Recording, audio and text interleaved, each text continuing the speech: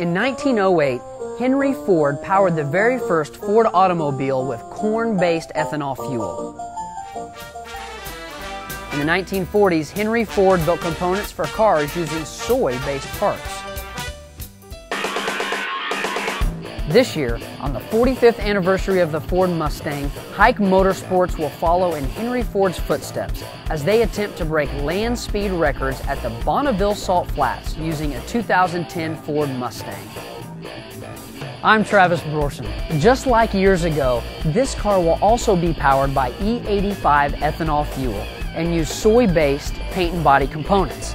This shell of a 2010 Ford Mustang will be built and configured to meet the requirements needed to exceed the amazing speed set by legendary Danny Thompson, who drove the now famous 2009 E85 Ford Mustang to over 252 miles per hour in 2008 at Bonneville Salt Flats. This same car was then reconfigured to NASCAR specs and established an E85 closed course record of over 170 miles per hour at the Talladega Superspeedway with the legendary Bill Elliott at the wheel. Now, there's a lot of pressure on this project, not only to see if Danny can do it again, but can the team have the car ready? There's only a few short months from start to finish.